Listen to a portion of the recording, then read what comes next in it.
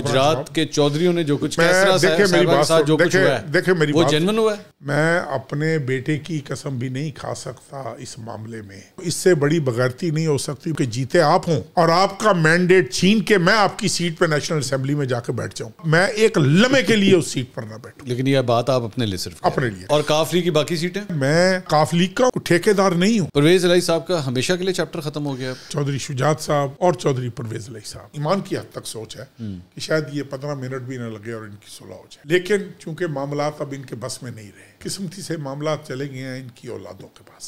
आज हुकूमत किस तरह बनी हुई है? बनी होगी किस स्पोर्ट के साथ? हम ना तीन में ना तीरा में हमारा इम्तिहान क्यों ले रहे हो? आज ही G F C replacement offer से ये पुराना पंखा बदलवाएँ और घर ले आए रियायती कीमत पर जीएफसी 30 वॉट्स इन्वर्टर फ़ैन जिसकी नई ब्रशलेस डीसी इन्वर्टर टेक्नोलॉजी 70 फ़ीसद तक बिजली बचाती है। GFC बेहतरीन पर यकीन। नहीं गुजरात के चौधरीयों ने जो कुछ किया है सर भाईजान मैं तो परवेज अलाई साहब भाईजान मैं देखे मेरी बात जो सुन- कुछ हुआ देखे देखे मेरी वो बात जेन्युइन हुआ है? देखे मेरी बात सुन लें आप मैं अपनी ज़ात की कसम खा रहा हूँ। मैं अपने बेटे की कसम भी नहीं खा सकता इस मामले में। हम्म। जितना शोर गुल जितना ववेला है। चौधरी परवेज अलाई साहब मेरे मोहसिन हैं चौधरी परवेज अली साहब के साथ मेरा एक प्यार मोहब्बत का रिश्ता है। और, लेकिन हमने उस वक्त भी एक असूली मौक़ लिया था। है ये था। है जी? वो रिश्ता मेरी तरफ़ से तो है उनकी तरफ़ से वो पता नहीं क्या मुन्नस अलाई साहब की गुफ्तगू से लगता नहीं है कि अब है। चलो नहीं होगा सर वो मुनस अलाई साहब मैटर भी नहीं करते। मेरे लिए मैटर करते हैं चौधरी परवेज अलाई साहब वो मेरे मोहसिन हैं। ठीक। आजकल क्या सूरत हाल है? सर आजकल क्या सूरत हाल है? सर किस सेंस में? आप खुल के बात करें मैं खुल के हाँ। अभी आप मैं खुल के बात कर रहा था आपने कहा मेरी इतनी पसली नहीं नहीं वो तो जो मेरी पसली नहीं होगी मैं आपको वो आप कह हाँ। आज हुकूमत किस तरह बनी हुई है?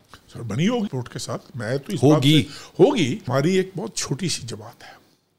हम तीन सीटें जीते बड़े एक्सपीरियंस खिलाड़ी हम तीन हम तीन सीटें जीते हैं। हाँ। अभी भी बड़ा शोर गुल ववेला है फॉर्म 47 फॉर्म 45 का। हाँ। पूरी पीटीआई शोर मचा रही है। मैं ठेकेदार नहीं हूँ। हम्म। ना काफ लीग का हूँ। ना पीएमएलएन का हूँ ना पीटीआई का हूँ ना पीपल्स पार्टी का हूँ। लेकिन मैं अपनी जात का ठेकेदार ज़रूर हूँ। मैं कह रहा हूँ, इससे बड़ी बगैरती नहीं हो सकती। मंसूर साहब के जीते आप हों और आपका मैंडेट छीन के मैं आपकी सीट पर नेशनल असेंबली में जाकर बैठ जाऊँ। मैं आई स्वेयर पर मुझे अपने उस खुदा की कसम है जिसके कब्जे में मेरी जान है। आप मैं एक लम्हे के लिए उस सीट पर ना बैठूं। लेकिन यह बात आप अपने लिए सिर्फ़ अपने लिए अपने लिए अपने लिए करो। इसलिए कि यार मैं और काफरी की बाकी सीटें? मैं तो कह रहा हूँ मेरा बेटा भी असेंबली का मेंबर होता ना। हाँ। मैं ये भी कहता कि वो जिम्मेवार है आप परवेज अली साहब के साथ चौधरी साहब की चौधरी शुजात साहब की मुलाकातें हुई। काफ़ी दफ़ा मुलाकातें हो चुकी हैं। मुद्दा किधर फंसा हुआ है? सर देखिए ये ये भी मेरी पसली से बड़ी बात है। मैं इसलिए नहीं करना चाह रहा कि चौधरी शुजात साहब और चौधरी परवेज अली साहब। ये दो आदमी ऐसे हैं जिन्होंने सारी ज़िंदगी कभी किसी बदतरीन मुखालिफ को बेहतरीन दोस्त को ये मौका नहीं दिया कि वो उनके घर के मामला में उनकी पॉलिटिक्स में उन दोनों की पर्सनैलिटीज़ में कोई एक हवा भी गुजर सकती हो। जो आपके ऊपर इल्ज़ाम लगाते हैं? जी। चौधरी वजाहत हुसैन ने आपके ऊपर इल्ज़ाम लगाया कि तारिक बशीर चीमा की वजह से सब कुछ हो रहा है? फिर उसके बाद लेटेस्ट उसका सुन लिया आ- फिर आ गए। नहीं तो आने को तो गोली मारो उसकी लेटेस्ट तकरीर नहीं सुनी कि चीमा साहब का इसमें कोई कसूर नहीं।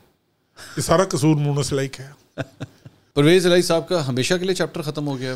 या आपको लगता है कहीं रिकन्सिलेशन अगर हो जाएगी तो चौधरी शुजात साहब के बस में हो और अगर परवेज अली साहब के बस मेरा अपना ये सोच है ईमान ईमान की हद तक सोच है कि शायद ये पंद्रह मिनट भी ना लगे और इनकी सुलह हो जाए। अच्छा। हाँ। लेकिन चूँकि मामला अब इनके बस में नहीं रहे अब किसके बस बदकिस्मती से मामला चले गए हैं इनकी औलादों के पास। और- generation में हाँ सेकंड जनरेशन में चले गए हैं। अगर वहाँ पे सेंस प्रिवेल कर गई तो ठीक हो जाएँगे। अच्छा ये जो अच्छा अब देखें ना मोनस अलाई साहब है ना मेरे साथ वो भी ठीक रहे हैं। मैं से कहूँ देखो हम्म। ना किसी के बारे में बुरी बात नहीं करनी चाहिए। मेरे साथ वो भी ठीक रहे हैं मेरी बड़ी इज़्ज़त करते रहे हैं।